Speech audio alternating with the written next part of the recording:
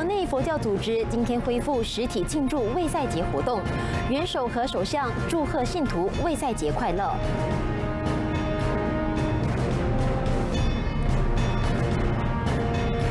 乌统特别代表大会今天以声浪表决方式一致通过修改党章第十点一点六条文的提案，允许最高理事会将党选展延到大选后的六个月内举行。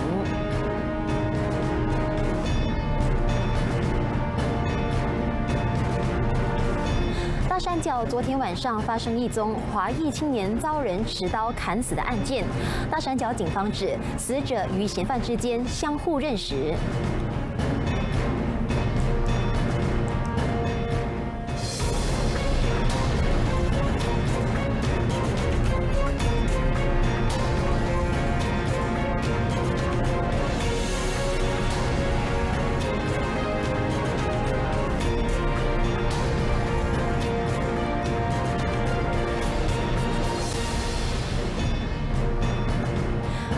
今天的卫赛节，国家元首苏丹阿卜杜拉及国家元首后敦固阿基扎祝贺国内佛教徒卫赛节快乐，并希望卫赛节充满和平、幸福及繁荣。首相 Dr. Sri Ismail Sabri 也趁今天恭祝佛教徒卫赛节快乐，期许国人能够在充满关爱、互相尊重和和谐气氛下庆祝所有节庆活动。元首通过国家王宫脸书专业发帖文提到，陛下希望卫赛节带给所有佛教徒和平、幸福及繁荣。另外，Ismail Sabri 今天在社交媒体撰文，向佛教徒献上卫赛节祝福。他提及，庆祝卫赛节旨在提醒民众行善、包容和关爱的理念。卫赛节是纪念佛陀释迦牟尼诞生、成道及涅槃的日子。佛教徒会在卫赛节当天到佛寺庆祝佛诞及浴佛。过去两年新冠疫情让卫赛节活动被迫暂停，阔别两年之后，许多佛寺今天复办卫赛节庆典，让信徒参与及共沾法喜。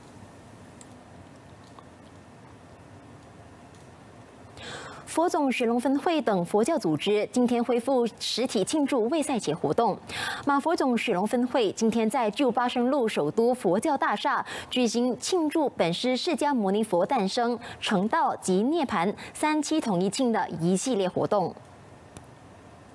配合佛陀日庆典活动，该会恭请马佛总雪龙分会主席明基法师与诸位大德法师领众上供诵经祈福，遇佛祈求消灾免难及外带方式素食结缘。这是世界性新冠肺炎疫情爆发以来第一次大开放的卫赛节。该分会从早上八点三十分至下午五点开放，让信众前来遇佛、祈愿及参与点燃平安灯供佛，希望以至诚的心及盏盏平安灯，祈求佛菩萨加倍，人人身体健康、平安喜乐，世界性新冠疫情早日消散。在纳闽，共有五千名民众佛教徒期待卫赛节的到来。在防疫标准作业程序大松绑之下，让许多信徒可以在更热闹的情况欢庆卫赛节。尽管如此，信徒们还是不忘自律，遵守防疫标准作业程序。本台记者今天到纳闽佛教协会寺庙观察时，发现宗教仪式的安排符合过渡到地方性流行病阶段的防疫标准作业程序。与往年不同的是，作为防止病毒传播的预防措施，今年寺庙还是没有举办食品售卖会。Uh, kali ini kita cuma yang buat yang simple saja yang ringkas. Kita pernah kaum uh, Buddha datang, kita boleh membuat uh, memandikan anak Buddha uh, dengan air wangi lah sebanyak tiga kali. Lepas tu kita ada untuk uh, majlis sembahyang lah. Nah, lepas tu kita ada men sediakan sebanyak 200 uh, set bungkusan untuk diorang bawa balik lah. 有的信徒对这次的庆典可以比较大肆庆祝感到开心，犹如回到了正常的生活状态。尽管如此，信徒还是在出席仪式前不忘了进行新冠肺炎自行检测。配合今天的卫赛节，也是交通部长的 Dato Sri 魏家祥，今天上午亲临千百家佛教居士林玉佛里及参观。魏家祥表示，宗教场所保留地的土地批准权在州政府身上，即便如此，州级执政党和宗教团体之间还是能够有良好的谈判空间，共同协商处理土地事宜。千百家佛教居士林总财务李金泉在提问环节询及政府是否能拨出地段或用优惠价格购置土地来解决八达岭在野佛教团体活动地点不够用的困境。魏家祥对此解释，即便执政的政府有制定了宗教场所保留地政策，提供不同宗教组织申请空地的管道，然而政府保留地、空地等任何政府的土地规划、土地批准权都在州政府。他解释，华裔人口高占比的巴达林在野区，可说基本上约百分之六十都是华人，但按此占比，当地的佛教佛寺或居士林是不足的。他以千百家佛教居士林为例，凡是举办卫赛节等重要活动，到访者过万，便会非常拥堵且难以容纳。他认为，州执政党和宗教团体之间可以有更良好的谈判空间来解决这项问题。千百家佛教居士林得以设立在林里，是因建立时期依据当时的土地规划指南。然而后来新的指南出现了，因此如今要再找到住宅区的宗教场所保留地已变得不多。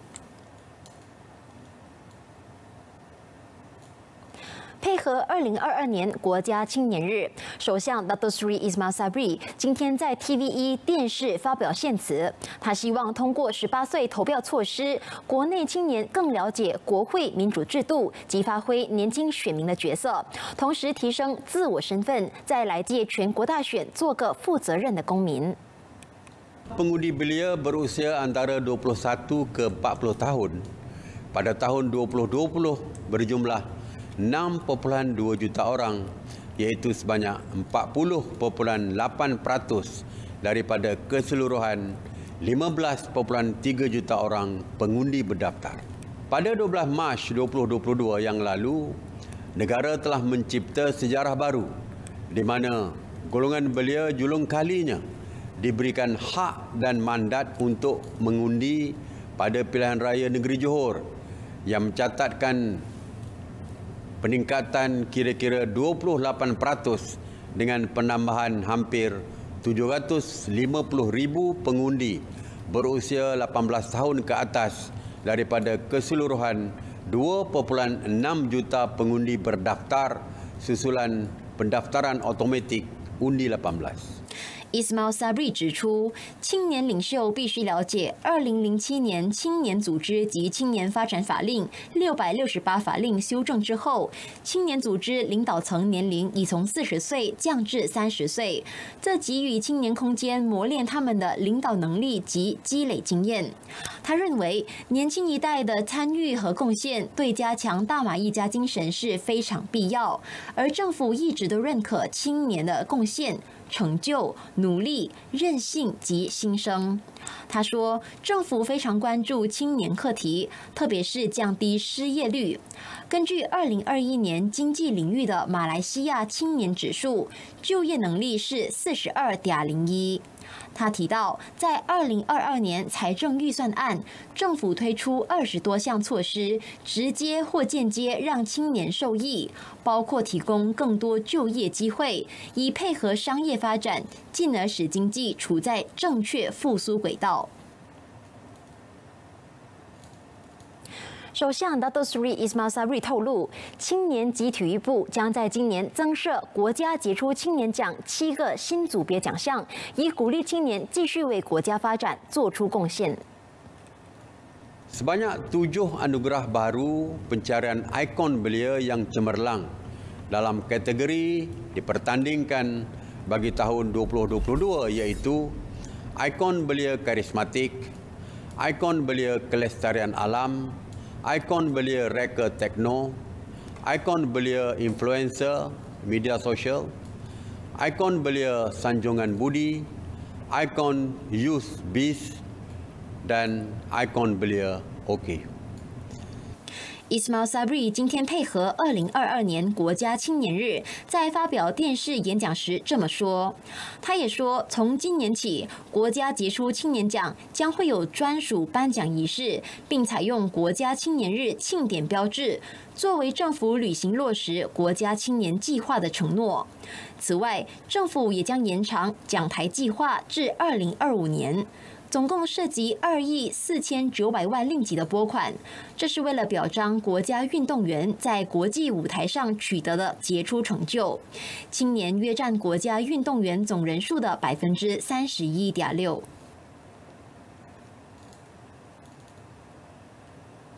乌统特别代表大会今天以声浪表决方式一致通过修改党章第十点一点六条文的提案，允许最高理事会将党选展延到大选后的六个月内举行。这也意味着在全国大选前，乌统铁定不会进行党选，而即将领军乌统迎战大选的乌统主席是 Dato Sri Ahmad Zahid。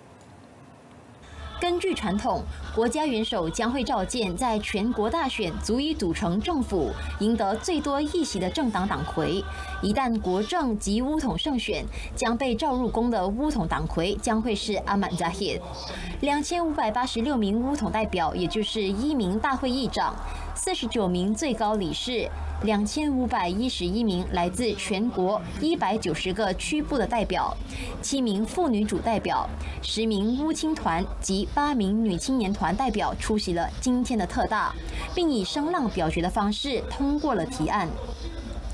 乌统总秘书 Dato Sri Ahmad Maslan 在推特发帖文表示，这次修改党章涉及三个条文，也就是第十点一点六条、第十五点三条及第十八点二条。乌统党章第十点一点六条文原本阐明，最高理事会可以将党选期限推迟不超过十八个月，但经过修订之后，这个条文将变成最高理事会可以将党选期限推。推迟不超过十八个月，或大选后不超过六个月内举行，需是哪一个日期较迟？针对第十五点三条的修正，则允许最高理事展延乌统三机构，即妇女组、乌青团和女青团的党选至大选后的六个月内举行。修改的第十八点二条，则可在选举对支部主席、署理主席及其十五名最高理事成员进行投票。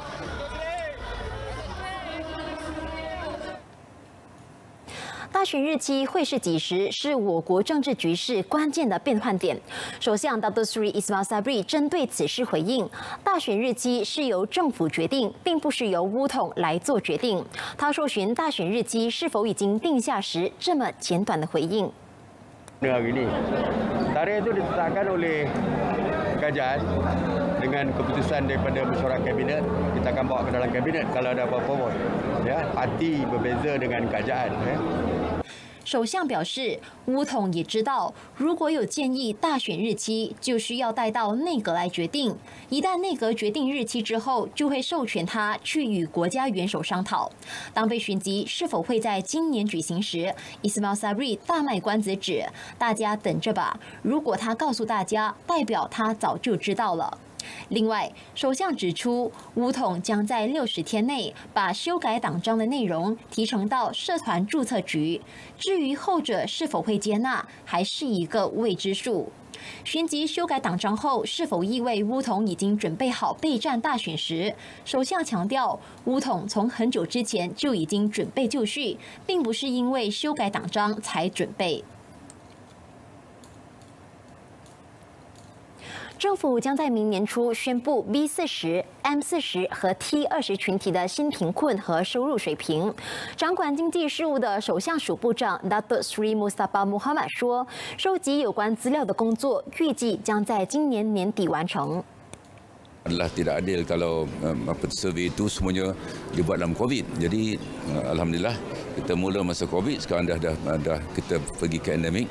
maka rakyat sudah pun bekerja pendapatan sudah meningkat jadi kita mahu supaya pendapatan itu benar-benar mencerminkan keadaan semasa itu sebabnya uh, beberapa angka lah berkaitan dengan uh, miskin, miskin tegar, T20, M40 dan B40 akan di akan sedang dikaji semula. 穆萨巴是在吉兰丹哥打巴鲁出席活动后，向记者这么表示。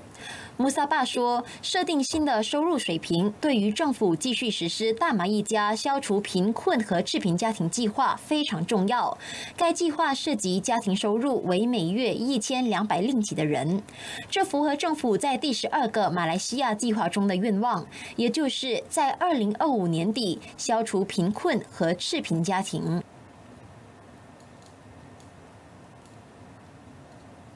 大山脚昨天晚上发生一宗华裔青年遭人持刀砍死的案件，大山脚警方介入调查这起案件，并鉴定这场争执后砍人案涉及死者一名女子及四名本地籍男子，而死者与嫌犯之间相互认识。威中警区主任沙费助理总监今天下午证实，警方已经着手调查这起案件。事发地点是在靠近小贩中心的户外场所。这起争执案涉及死者一名女子及四名本地籍男子。他说，社交媒体目前流传三个有关女子持利刀砍人案的视频，而他证实，威中警方在昨天晚上八点二十分接到民众投报此案。他指出，一名约三十岁的本地籍男子在事件中受重伤，并在被送往大山脚医院治疗时身亡。死者已经进行解剖，以鉴定死因，而警方目前还在追击涉案者。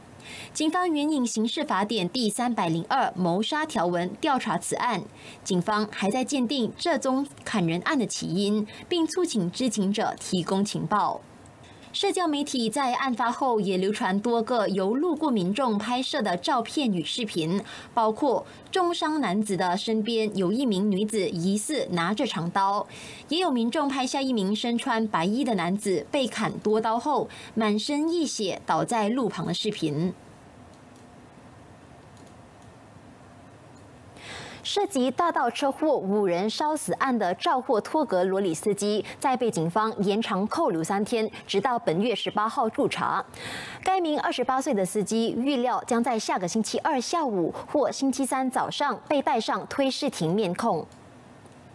江沙景区主任 Omar Baktia 助理总监说，该名罗里斯基的延扣令在今天届满，被警方再次押往江沙推事庭，或推事庭批准延扣三天。警方预计在下个星期二将调查报告提呈副检察司，如果没有意外，将在同一天下午在法庭进行提控。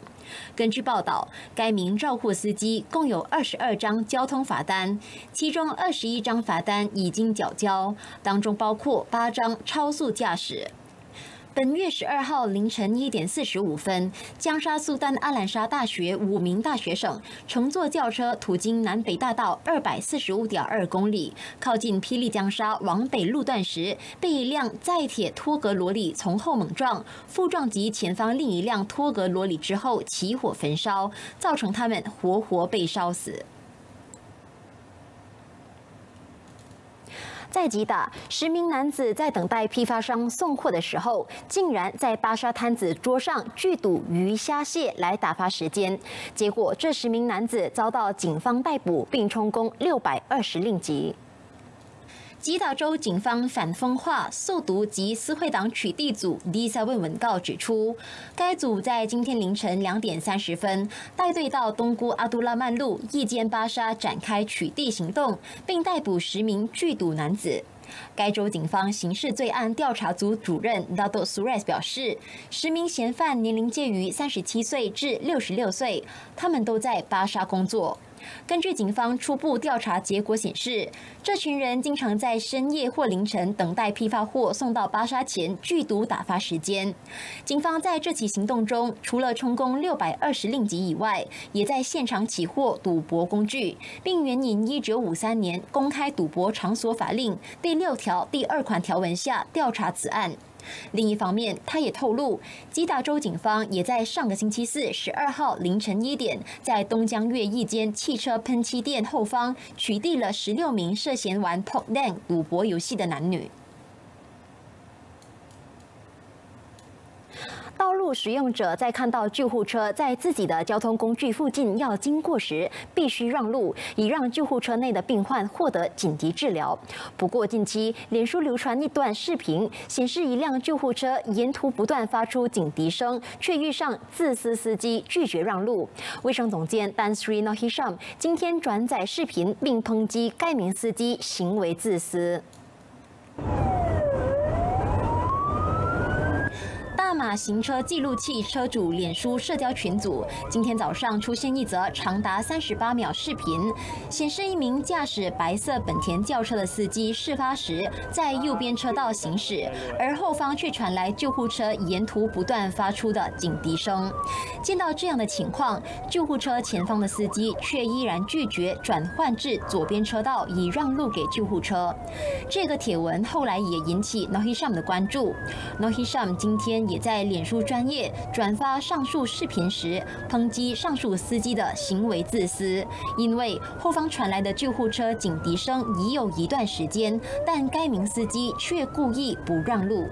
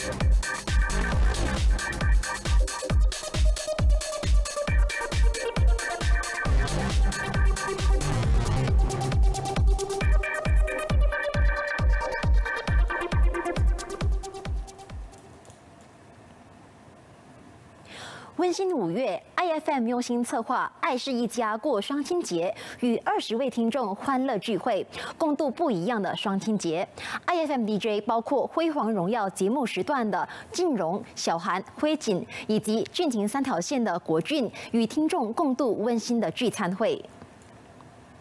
爱是一家过双亲节聚餐会，昨天中午在雪州蒲种一间农场举行。二十位幸运被选中的听众，除了品尝有机火锅、参观有机菜园和市集、与 DJ 互动和观赏短剧《快乐八九三》之外，歌手黎生明、陆文静带来歌唱演出，还有 Fresco 口琴重奏团的 Aden 孙福全带来精彩的口琴表演。FM 下班黄金节目时段，辉煌荣耀三位主持人暖场之后，出席者在导览员的带领之下，戴着草帽到有机菜园了解不同品种的蔬菜种植法。DJ 聚餐会少不了 DJ 们的表演环节，电台招牌节目《快乐八九三》短剧也搬到现场上演，DJ 辉锦也为现场听众带来口琴表演。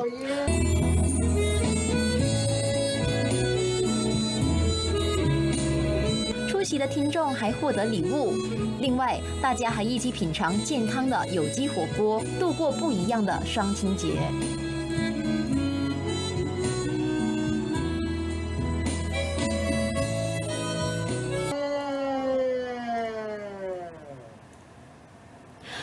零二二年第七届沙巴华堂国际龙舟赛将在今年七月二号及三号复办，由马来西亚中华大会堂兼沙巴中华大会堂堂长丹 Sri 吴天全昨天率领大众到丝绸港湾玛丽娜俱乐部举行下水礼，为即为即将举办的国际龙舟赛进行简单而隆重的仪式，祝愿赛会顺利，参赛队伍顺风顺水，再创佳绩。这项疫情前每年吸引超过一百支海内外队伍参赛，数万各族民众及国内外游客观赛，不单是运动项目，更是文化活动、旅游盛会。除了精彩又振奋人心的压轴好戏——龙舟竞赛，周边活动如传统美食果粽子比赛，今年更增加七公里龙舟跑。吴天全指出，沙巴中华大会堂每年都组织庞大的筹委团队举办国际龙舟赛，有助国家及华社推广中国传统体育文化，同时也促进沙巴体育及旅游事业发展。这个活动也获得州政府及旅游相关部门拨款支持，以及广大各族人民及游客的鼎力支持下，已经发展成本周的圣诞、开斋、丰收及农历春节之外，另一项跨越种族、宗教、全民同庆、汇聚文化、体育及旅游特质于一身的盛大嘉年华。IFM DJ 梁静茹召集了一般听众粉丝筹钱出力，为雪州嘉宁之家的长者送暖。梁静茹在社交媒体上号召粉丝一起关心孤独长者，为他们贡献爱心。此行，他们带来了物资和慈善筹款给江宁之家，同时送上花束和蛋糕给单亲妈妈们。梁静茹希望透过绵薄之力，可以达到抛砖引玉的效果，号召更多人加入行善行列。